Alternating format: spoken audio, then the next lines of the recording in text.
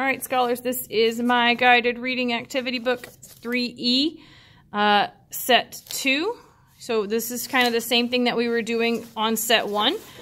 Um, you're going to do the sounds and decide if they sound the same or they don't sound the same. So we have leaf and lamp, pizza and pear. We have jug and basket. And we have skate and cherry.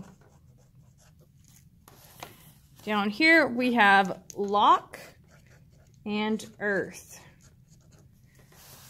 We have crown and rocking horse. We have ring and rainbow. Then we have ship and pretzel.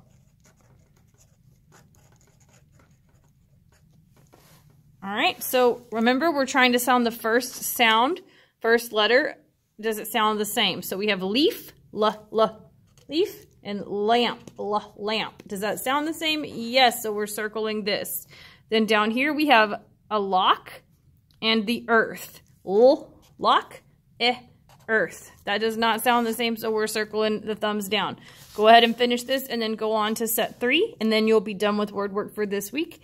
After you finish set three, you're doing listen and respond if you have not finished, or Lexia or IXL.